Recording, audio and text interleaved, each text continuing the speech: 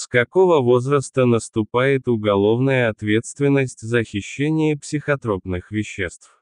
Согласно части 2 статьи 20 Уголовного кодекса Российской Федерации, уголовная ответственность за хищение психотропных веществ наступает с 14-летнего возраста.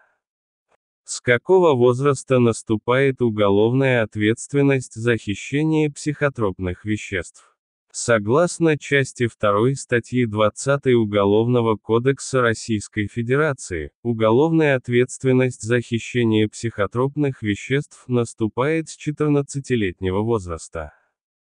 С какого возраста наступает уголовная ответственность за хищение психотропных веществ? Согласно части 2 статьи 20 Уголовного кодекса Российской Федерации, уголовная ответственность за хищение психотропных веществ наступает с 14-летнего возраста.